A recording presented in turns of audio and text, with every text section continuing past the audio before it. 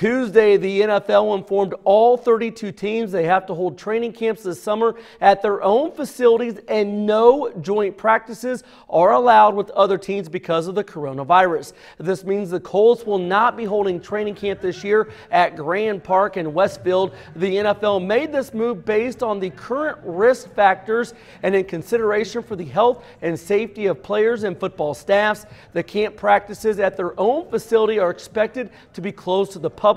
The Colts did not give a reporting date yet for players, but did say they plan to return to Grand Park in 2021.